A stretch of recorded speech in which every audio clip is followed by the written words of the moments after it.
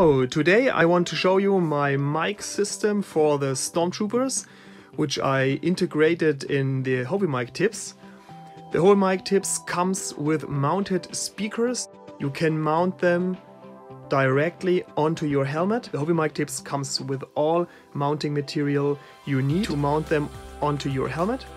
And you can order all devices you need to run the system.